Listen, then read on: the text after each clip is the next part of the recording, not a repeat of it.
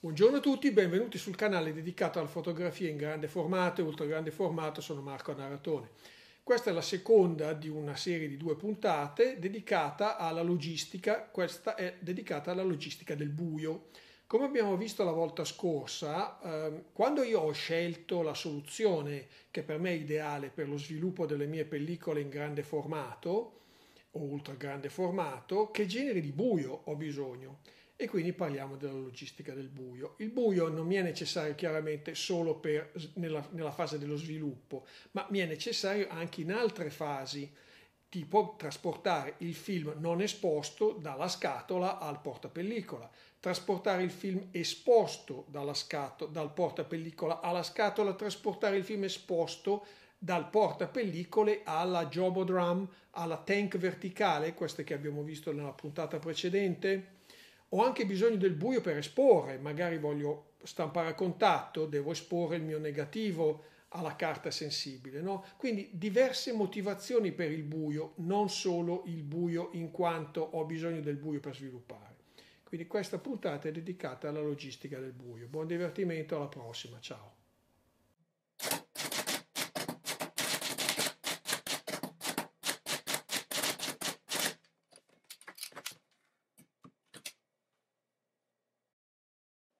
Insomma, ho bisogno di buio, ho bisogno di buio, ho bisogno di buio.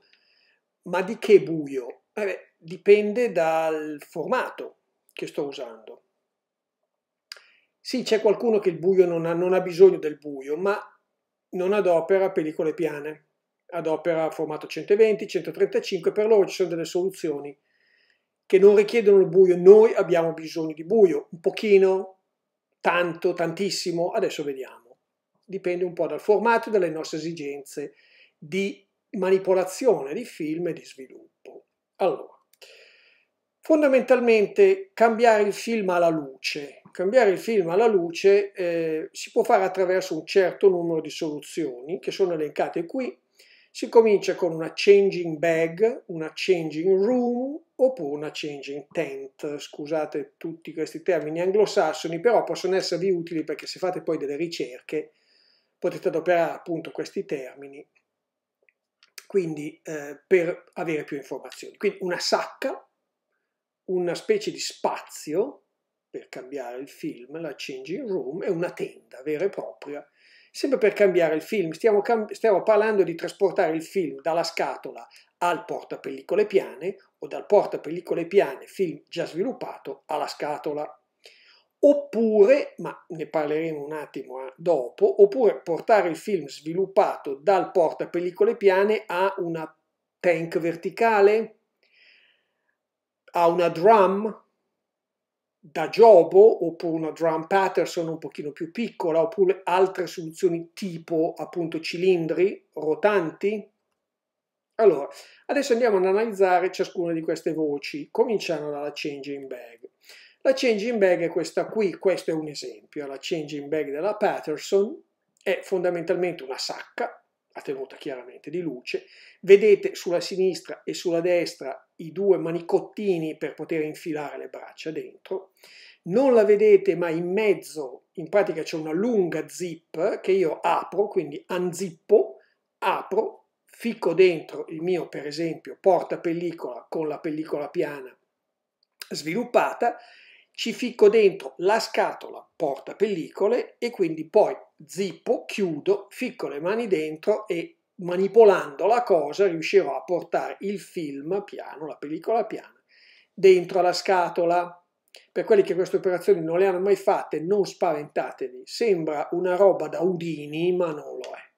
Basta fare un minimo di pratica e si impara a farlo.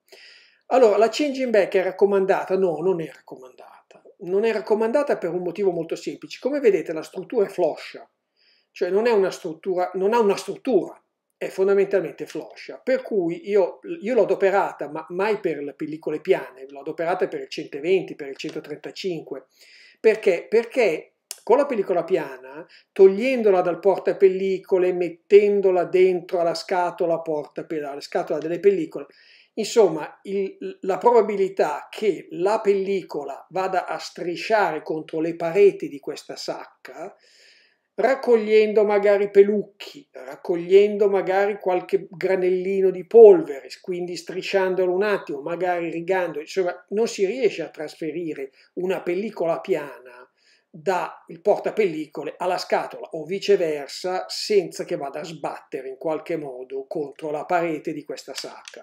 Per questo motivo io non l'ho mai adoperata e francamente non la consiglio.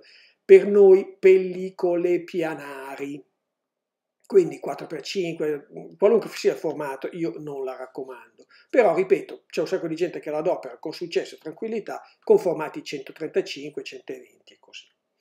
Uh, passo successivo, il passo successivo è la changing room. Ecco, changing room, questo è un esempio di changing room della Calumet, vedete subito la grossa differenza. Qua c'è una struttura, e difatti è uno spazio, non è una sacca, è uno spazio anche qui i due manicotti li vedete a destra e a sinistra, si ficcano le mani e qua c'è un vero e proprio spazio. Quindi la probabilità di trasportare, di riuscire a trasferire il film da una parte all'altra senza che vada a sbattere contro le pareti è molto alta, quindi si può fare questi cambiamenti in sicurezza.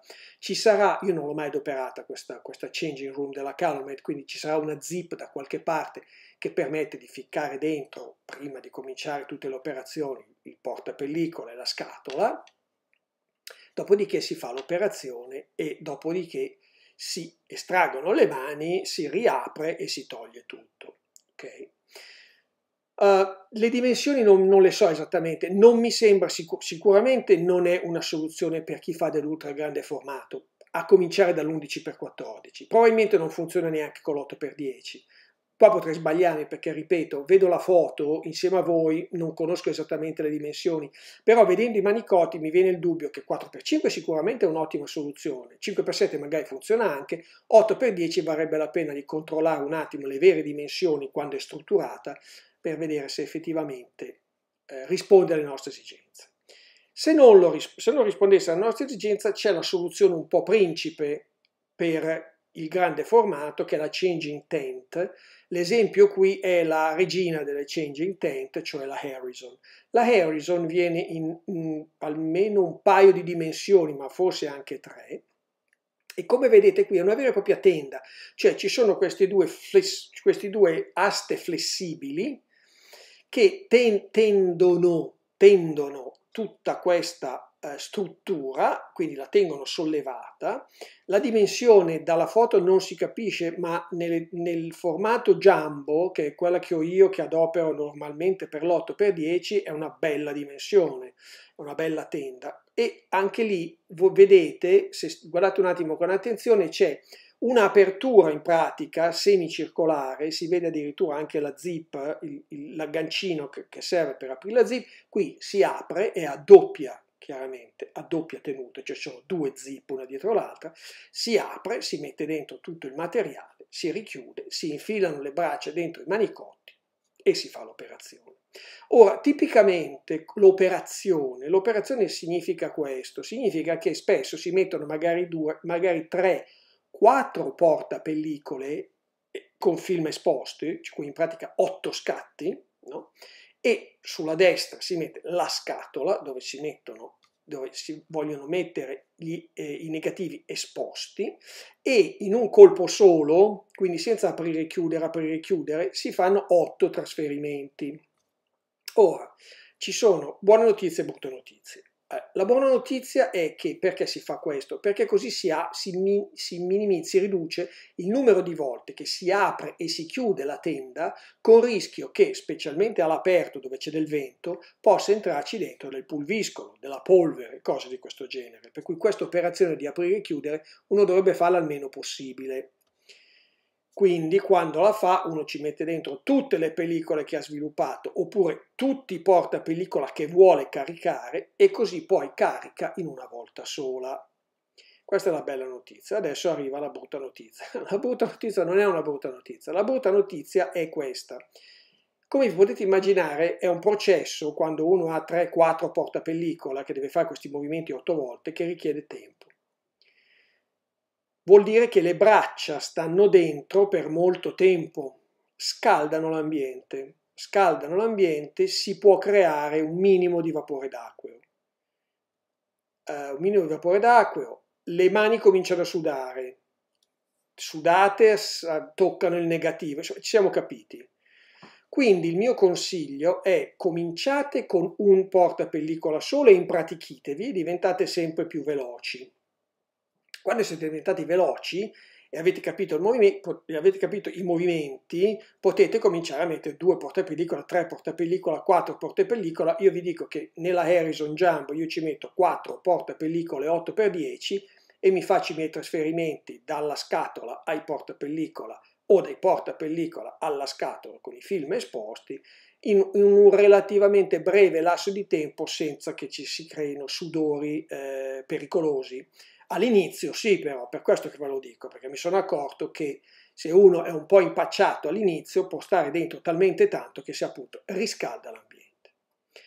Un altro argomento che bisogna toccare, anche se è un po' diciamo, eh, non lo so, delicato, ok? è questo, noi però ci parliamo chiaro, no? Ovviamente non si mettono le braccia dentro con camicie, golf, per carità di Dio, perché lì lasciano pelazzi di tutti i generi questi golf, piuttosto che le camicie. Quindi braccia nude, anche a meno 35, sempre in canottiera. no, braccia nude. Quindi vi tirate su al limite la camicia, ma le braccia devono entrare belle asciutte dentro alla vostra tent Ora, le braccia di alcuni di noi, questa è la parte delicata, non sono, diciamo così, proprio glabre, hanno un minimo di peluria, ok? Ci siamo capiti, spero. Quindi eh, darsi magari una bella grattatina alle braccia, prima di braccia nude, prima di ficcarle dentro la tenda, fidatevi, è un buon consiglio questo qui. Magari non lo leggete nei libri, però è un buon consiglio. Quindi avambracci belli asciutti, eh, abbiamo tirato via un po' di qualche eh, residuo dei nostri antenati scimmieschi, eh, ficcateli dentro, stateci dentro il meno possibile, questo è un po' mia, il mio consiglio. Mi sembra che una, la Harrison riesca addirittura a gestire gli 11x14 non fate, non dimenticatevi subito quello che vi ho detto, andate a controllare per conto vostro, però non vorrei sbagliarmi, secondo me effettivamente eh, può gestire la Jumbo, la più grossa di tutte, gli 11x14, non 4 come nell'8x10, ma magari uno si riesce a fare il, il cambio. Tutto questo chiaramente serve a un unico scopo, di trasferire il film alle scatole o il film dalle scatole al portapellicola ma noi potremmo avere altre esigenze. Una prima esigenza sarebbe quella di poter trasferire il film da sviluppato a una tank verticale piuttosto che a un drum della Jobo, magari piccolo del 4x5. Il livello, il passo più avanti ancora è chiaramente quello di sviluppare addirittura il film al buio in, uh, nelle bacinelle ok? Cioè non alla luce, cosa che permette appunto il giobo o una tank verticale, ma dentro le bacinelle. Allora, quindi abbiamo bisogno di una camera oscura se vogliamo sviluppare dentro le bacinelle oppure se dobbiamo trasferire diciamo un 14x17 dentro al drum della Jobo che vi ho fatto vedere prima non lo posso fare in una di queste tende quindi ho bisogno di una camera oscura eh, no non necessariamente, ci sono, sol- ci sono soluzioni. Cominciamo dalla soluzione. La soluzione è una camera oscura portatile come questa della Nova. A me risulta che sia l'unica, dico come questa della Nova, ma in realtà mi risulta che sia l'unica camera oscura portatile. Come vedete dentro a questa camera oscura c'è addirittura un ingranditore, immagino che sia un ingranditore 135 per il 135 mm, non certo per il grande formato, però questo per farvi vedere che questa è una tenda da campo, è una camera oscura portatile da campo, montabile, smontabile, che vi permette di ottenere del buio. Del buio in cui, per esempio, un buio che vi permette di cambiare il film e poterlo mettere dentro a un jobo drum. Questo in mezzo al prato, no, è ovvio che l'obiettivo non è quello. L'obiettivo è eh, di poter avere una soluzione del genere quando uno non ha una camera oscura in casa e non ha modo di farla, potrebbe tenersi una camera oscura portatile come questa della Nova, oppure sul campo come fa uno a cambiare il suo 14x17 negativo piuttosto che 16x20? Perché le tent che vi ho fatto vedere, lasciamo perdere la changing bag o la changing room, ma anche una changing tent come la Harrison non, è, no, non permette di cambiare un 14x17, è troppo piccola pur essendo di notevoli dimensioni. Quindi se io voglio cambiare il negativo sul campo, cosa faccio? Questa è una soluzione. Eh, la camera, no, la camera portatile della Nova non viene gratuitamente, è abbastanza cara, tanti tanti centinaia di euro, potrebbero essere 600-700 euro, è studiata però da fotografi per fotografi, ha degli, ha degli, optional che vengono che possono rendervi la vita più semplice.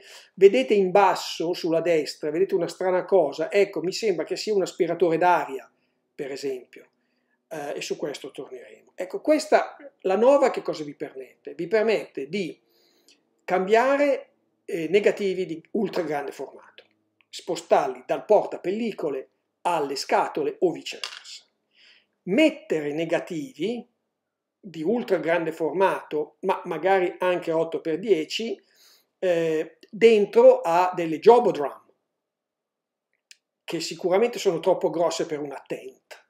Okay?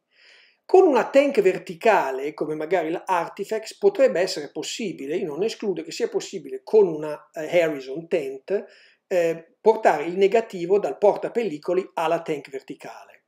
Okay, questo potrebbe essere possibile effettivamente. Però comunque la Nova vi serve, vi, vi risponde a queste esigenze.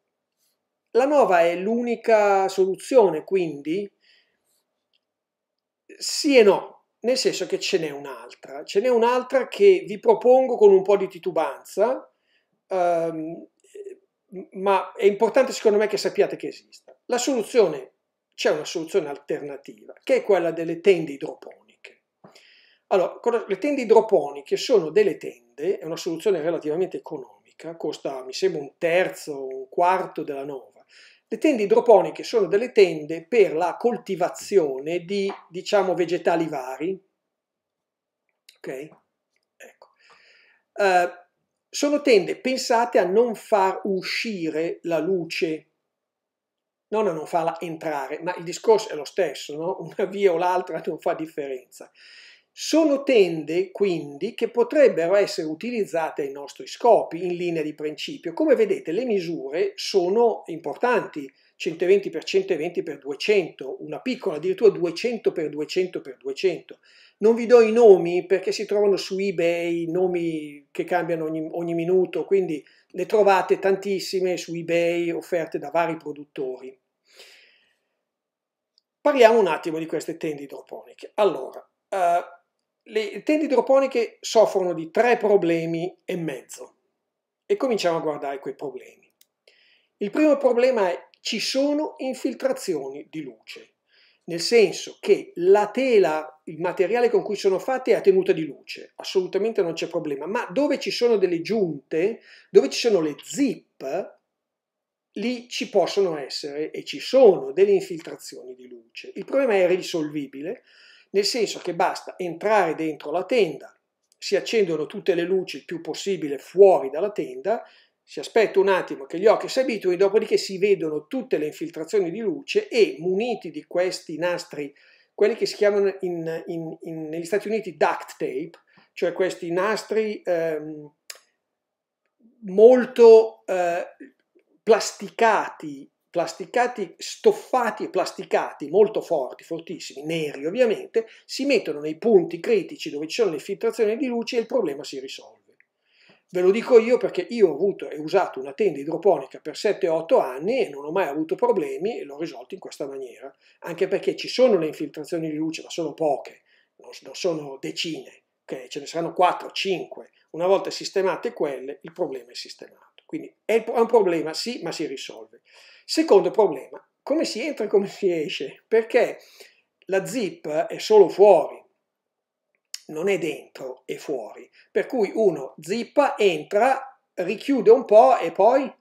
Allora, il problema è risolvibile in due modi. Uno, avendo un baldo e valoroso assistente che sta fuori e gli si dice aprimi oppure chiudimi e apre e chiude. Io l'ho avuto per anni, si chiamava moglie, e la quale benedetta donna mi apriva e mi chiudeva, però, però potevo anche farne a meno in tutta onestà e quindi non sfruttate il vostro aiutante di campo perché si può risolvere il problema. Il problema è come si risolve? Il problema si risolve molto facilmente.